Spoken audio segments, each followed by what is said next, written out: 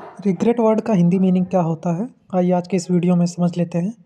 Regret word का हिंदी मतलब होता है खेद, पछतावा करना, सोच या फिर खेद प्रकट करना।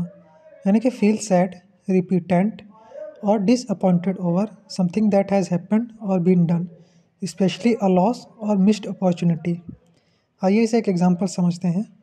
He regrets not travelling more when he was younger इसका हिंदी मतलब क्या हुआ? कि उन्हें इस बात का अफसोस है कि जब वे युवा थे तो उन्होंने अधिक यात्राएँ क्यों नहीं की। तो आई होप रिग्रेट वर्ड का हिंदी मीनिंग आप लोग जान गए होंगे। ऐसे ही और डेली यूसेज वर्ड जानने के लिए चैनल को सब्सक्राइब करें।